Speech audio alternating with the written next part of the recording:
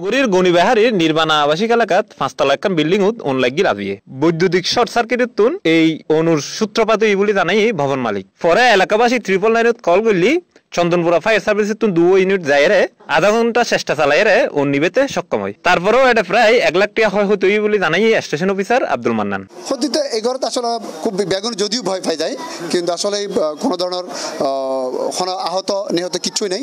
যেহেতু ফায়ার ব্রিগেডের সাথে সাথে খবর পাই, এবং সম্ভবত নাইন নাইন নাইন খনিকে খবর দিয়ে, এখন সরকার রোগ্য ভরসা বা নাইন নাইন নাইন বেতন যখনই খবর দিতে পারে, খবর দিয়ে আর দ্রুত ইউনে, শুধুমাত্র আগুন, এই রুমতে সীমাবদ্ধ।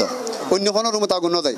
এই বিল্ডিংয়ের সবাই যদিও ভয় পায়, আর আইনের সাথে সাথে আগুন নিবানোর পর হইলাম দেখি অনাবাইয়ের হনা হারা নাই। ফ্ল্যাট ওনার সঙ্গে ফ্ল্যাট বাসিন্দা অকল যা যার রুমতে ওনার দিতে desk news C plus TV Chattogram এই যে দেখো কেওয়াই এর মুরগি মার্কা ঢেউটিন দিয়া বানানো আমার ঘর। কেওয়াইয়ের মুরগি মার্কা ঢেউটি লাগাইলেই হিট।